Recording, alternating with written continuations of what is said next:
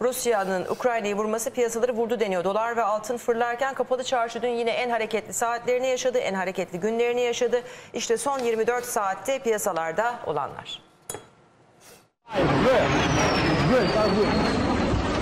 Ukrayna, Rusya sancısı bütün piyasaları vurdu. Çok sert hareketler yaşanıyor. Rusya Ukrayna'yı vurdu, piyasalar alt üst oldu, dolar altın fırladı. Kapalı çarşı en hareketli günlerinden birini yaşadı. Güne 13.80 seviyesinde başlayan dolar şu anda 14.30 seviyelerinde ve gün içinde 14.70'i gördü. Ancak müdahale geldi.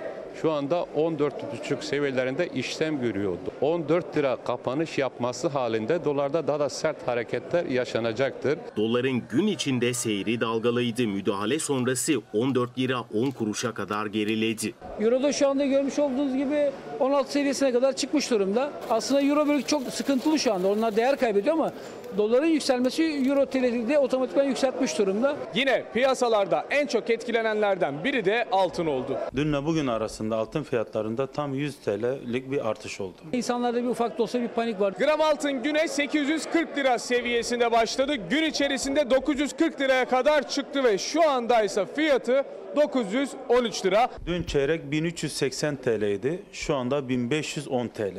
Çeyrekte müthiş bir artış var. Altının hızla yükselen ateşi hızla da düştü. Akşam saatlerinde gram altın 870 lira oldu. Vatandaş şu anda altının artışından dolayı almaktan ziyade satmaya daha çok meyimli. Hareket çok sert şekilde devam ediyor. Büyük bir karambol var. Bu fiyatlar da gerçekten sağlıklı değil. Ukrayna-Rusya savaşı Borsa İstanbul'u da etkiledi. %8'lik sert bir düşüş yaşandı. Piyasalarla ilgili Hazine ve Maliye Bakanlığı'ndan da açıklama geldi. Açıklamada gerekli tedbirlerin alınacağı vurgulandı. Bakanlığın açıklamasından gidersek Hazine ve Maliye Bakanlığı bunu daha evvel Merkez Bankası yapardı da e, riskli yatırımlardan kaçının Türk lirasına güvenin dedi. O onu bir kenara bırakalım. Düne Bir şöyle bir müdahale de geldi hemen e, dolara. küçük çaplı. dövize. E, çünkü e, düne şöyle bir bakarsak rakamlar orada e, en çok etkilenen para birimi dünyada rubleden sonra Türkiye oldu. Daha doğrusu Türk lirasının değer kaybı diyelim. 14.68'e kadar çıktı dolar ki genelde 13.50 seviyesinde bir savunma hattı çizilmiş idi. Yaklaşık 1 liralık bir artış oldu. An itibariyle 14 liralara sabitlenmiş durumda. Ee, altının onsu zaten artar diye düşünüyordu. 1915 dolarda an itibariyle ki dün 1974'e kadar çıktı, liraya dolara kadar çıktı. E, gram altın da etkiliyor. 895 liralarda gram altın. Yani piyasalar evet allak bullak ama bugün biraz daha fırtınanın dindiği hep beraber işte görüyoruz ki aşağı yukarı bu seviyelerden yine seyreder deniyor. Tabii e, yaptırımlar önemli. Biden'ın sözleri Evet ama- e, Rus füzeleri kadar yıkıcı olacak deniyor. Ekonomik yaptırımlar bizi nasıl etkiler? Nasıl Esas etkiler? hadise bu. Şimdi Rusya bu yaptırımlara biz çok alışkınız. Bizim için çok da önemli değil diyor. Hal böyle olunca rahatlar. Dolayısıyla rezervlerine de bakınca altından dolayı oldukça zengin oldukları için dolarla alakaları yok. Yani yüksek bir kesimini altına çevirmiş durumdalar. Şimdi Ruslardan ziyade bizi nasıl etkiler? Bizi nasıl E etkiler? Çünkü biz Avrupa'yı ticaret da nasıl yapıyoruz etkiler? onlarla. Doğru. Yani e, bakıldığı zaman e, bizim ticaretimiz ciddi anlamda işte sen de söyledin doğalgaz fiyatlarına birdenbire nasıl yansıyacak? Turistlere nasıl yansıyacak?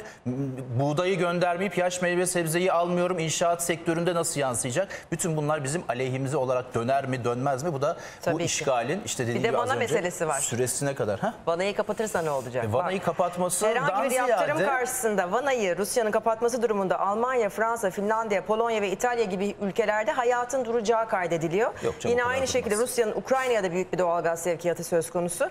Ama Rusya'ya karşı daha sert bir tavırda bulunan İngiltere'nin e, sadece %5 seviyesinde bağımlılığı. Evet onlar Norveç'te daha çok. Dolayısıyla, Yani evet. hadi hayat tabii ki durmaz da atıyorum 1900 euro olan ya da dolar olan e, işte şey litre ne bileyim işte 2000 dolarlara Tabii gelir. E, o da yani e, ciddi anlamda. Çünkü doğalgaz deyince biz evi düşünüyoruz hayır. Bizim sanayi üretimimiz hep doğalgazla. E ne olacak? E, her şey işte enflasyon olarak yansıdığı zaman vay hali bize. Umarım tez zamanda e, e, Putin'in durumuna da bağlı. Şimdi bir ileri doğru adım attı ama geri çekilir diye düşünüyoruz. Hep beraberce göreceğiz.